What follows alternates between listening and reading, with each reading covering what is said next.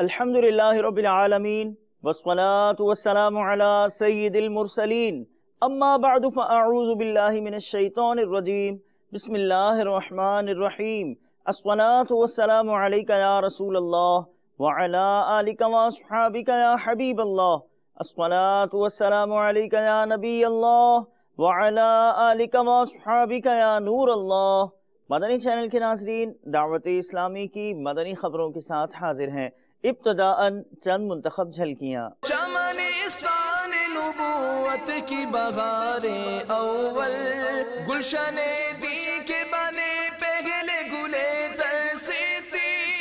شیخ طریقت امیر اہل سنت دامت برکاتم العالیہ کا مدنی مذاکرہ۔ صدیق اکبر تیری عظمت کو سلام حضرت مولانا رمضان سیالوی صاحب دامت برکاتم العالیہ کا دار المدینہ کا دورہ۔ صدیق اکبر تیری عظمت کو سلام اور اب مدنی خبروں کی تفصیل۔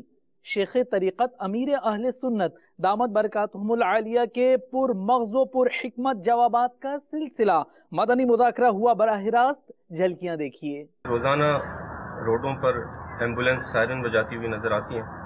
تو ان ایمبولینسز کو دیکھ کر اور سائرن کو سن کر کیا تصور کرنا چاہیے؟ ایمبولینس کے اندر یا تو مریض ہے یا یہ مریض کو لینے جا رہا ہے یا لاش ہے یا لاش کو لینے جا رہا ہے وغیرہ۔ اس طرح کے معاملات ہیں تو اس میں اپنے لیے آخرت کا تصور لیا جا سکتا ہے۔ اللہ کا شکر ادا کرے کہ یہ ایمبولینس میرے لیے نہیں جا رہی، میں اس کے اندر نہیں ہوں۔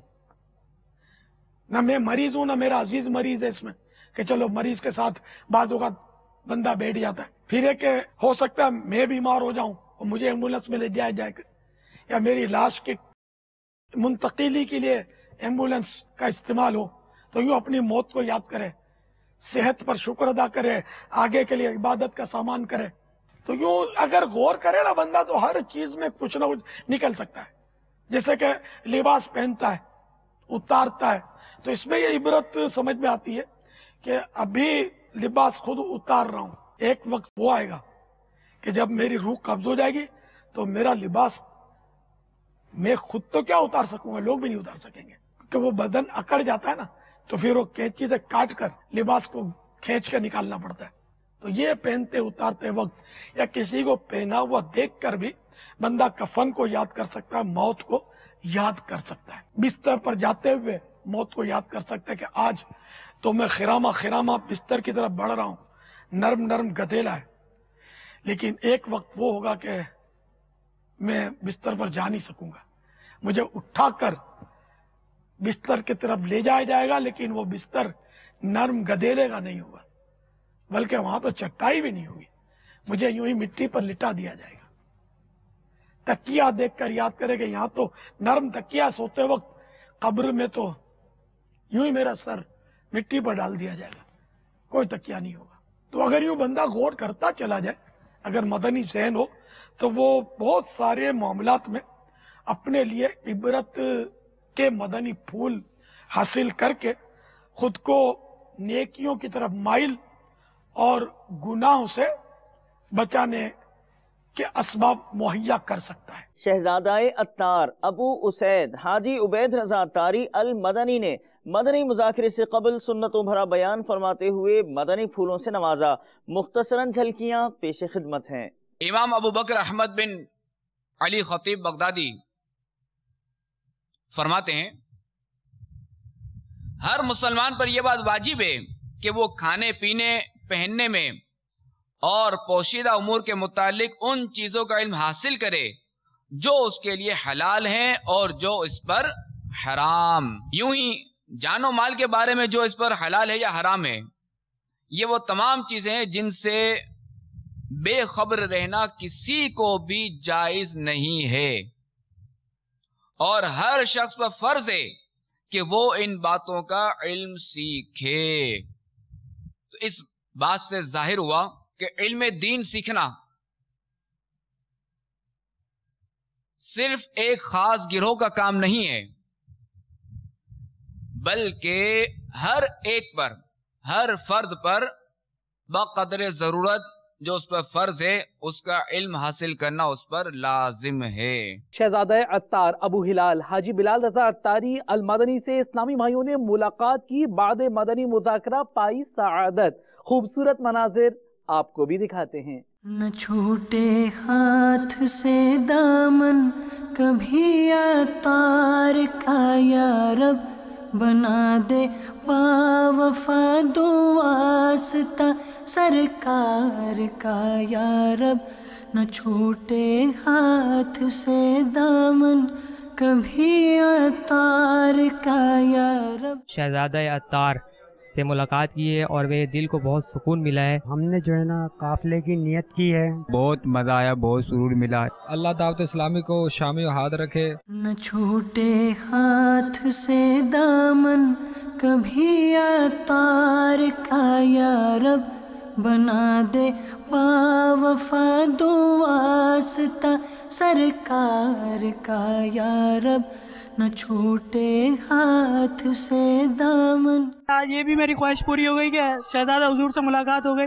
دلی سکون ملا۔ انشاءاللہ تین دن کے مدی قافلے میں سفر کروں گا۔ بہت اچھا لگ رہا ہے میں نے نیت کی ہے قافلے کی انشاءاللہ یکم مئی کو قافلے پہ جانے کی میں نیت کرتا ہوں۔ مبلغ دعوت اسلامی ابو بنتین حافظ حاجی حسان رضا تاری المدنی نے حضرت مولانا پیر مہر علی شاہ صاحب رحمۃ اللہ تعالی علیہ کے مزار پرنوار پر گولڑا شریف میں حاضری کی سعادت پائی۔ اللہ اللہ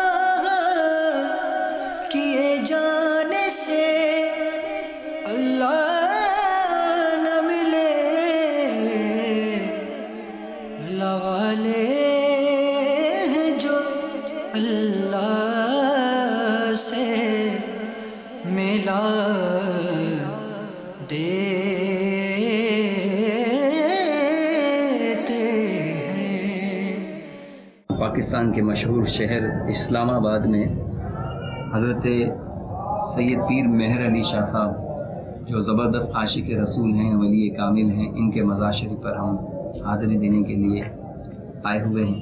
اور اسی دوران سورہ ملک کی تلاوت کا سلسلہ بھی ہوا اور درس کا بھی سلسلہ ہوا۔ اللہ تبارک و تعالی ہم سب کی حاضری کو قبول فرمائے۔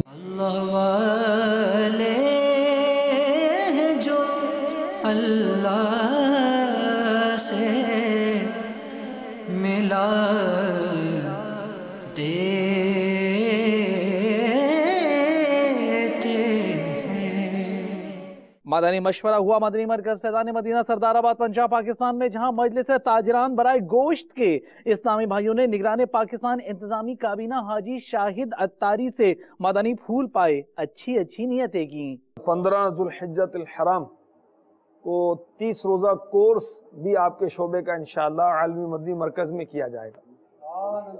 اور اس میں جو گوشت فروش اسلامی بھائی ہیں، فی کابینات تریسٹھ اسلامی بھائی۔ ان کو لے کر آنا ہے، تو وہاں انشاءاللہ عز و جل پورا جدول ہمارے نگرانی مجلس بنائیں گے۔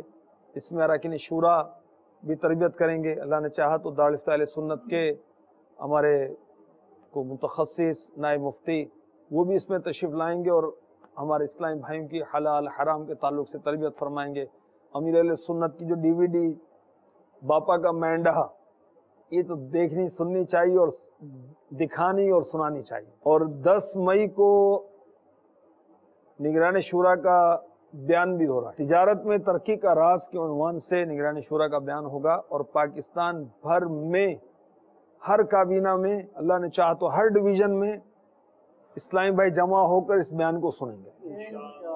دس مئی انشاءاللہ عز و جل سوا تین بجے پاکستانی ٹائم کے مطابق۔ دنیا بھر میں بھی انشاءاللہ یہ ترکیب ہوگی اور بالخصوص پاکستان میں ہوگی۔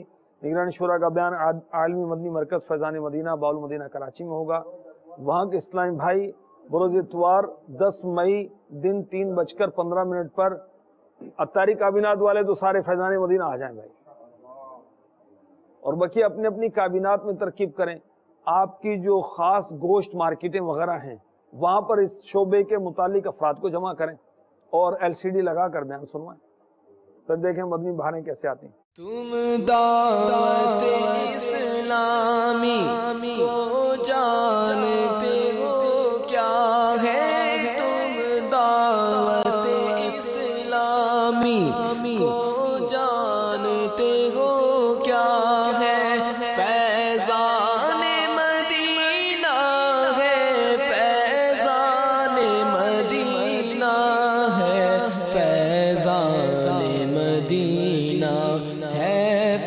فیضان مدینہ ہے فیضان مدینہ ہے فیضان مدینہ ہے فیضان مدینہ ہے۔ خطیب اہل سنت و داتا دربار مسجد مرکز الاولیاء لاہور پنجاب پاکستان۔ حضرت مولانا رمضان سیالوی صاحب قبلہ دامت برکاتم العالیہ نے دار المدینہ کا دورہ فرمایا۔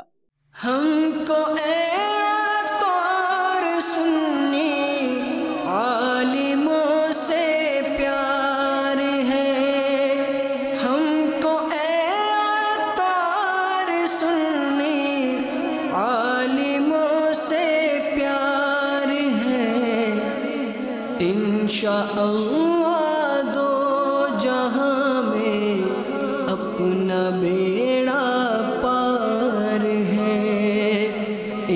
انشاءاللہ دو جہاں میں اپنا بیڑا پار ہے۔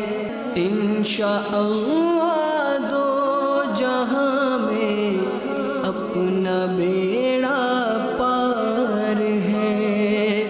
انشاءاللہ دو جہاں میں اپنا بیڑا ہیوسٹن، امریکہ میں رکن شورا بلال رضا تاری کی مختلف مدنی کاموں میں شرکت کا سلسلہ رہا۔ سنتوں کا میں چرچا کروں رات دن۔ سنتوں کا میں چرچا کروں رات دن۔ ہوا تھا ایسا جذبہ پائے چار یار ہوا تھا ایسا جذبہ پائے چار یار۔ میں حضرت صاحب کا، الیاس قادری صاحب کا میں اسکول کی لائف کا ساتھی ہوں۔ ہمارے یہاں امریکہ میں ہیوسٹن سٹی کے اندر ایک قافلہ آیا، بلال تاری صاحب تشریف لے آئے اور ان سے ملاقات ہوئی۔ بہت ساری پرانی باتیں یاد تازہ ہوئی، ان سے مل کے بہت خوشی ہوئی۔ ان سے مل کے ہمیں وہاں کے معاملات بھی پتہ چلے۔ تقریباً پورے پانچ سال ہو گئے میں یہاں آ گیا ہوں۔ اس کے پہلے تک تو میری ملاقات تھی اور ملتے رہتے تھے۔ اللہ تعالیٰ سے دعا ہے۔ اللہ تعالیٰ آپ کی عمر میں، عمل میں سب میں برکت عطا فرمائے۔ اللہ تعالیٰ آپ کا سایہ ہم پہ سلامت رکھے۔ اور اب سے کچھ دیر بعد مدنی چینل پر آپ ملاحظہ فرمائیں گے۔ سلسلہ نوجوانوں کے مسائل۔ اور اس کے بعد اجتماعی ذکر و نعت براہ راست۔ مدنی چینل کے ناظرین، آج کے فکر مدینہ فرما لیجیے اور دعوت اسلامی کی پچھلے دنوں کی مدنی خبریں ملاحظہ فرمانا چاہیں تو ہماری ویب سائٹ دعوت اسلامی ڈاٹ نیٹ کو وزٹ کیجیے۔ آپ نے آج کی دعوت اسلامی کی مدنی خبریں ملاحظہ فرمائیں، مزید خبروں کے ساتھ پھر حاضر ہوں گے انشاءاللہ عز و جل۔ مدنی چینل دیکھتے رہیے۔ غیبت کے خلاف جنگ جاری رہے گی، انشاءاللہ عز و جل۔ جھوٹ کے خلاف جنگ جاری رہے گی، انشاءاللہ عز و جل۔ مزید بھر و تحریک جاری رہے گی۔ انشاءاللہ عز و جل۔ صلو علی الحبیب۔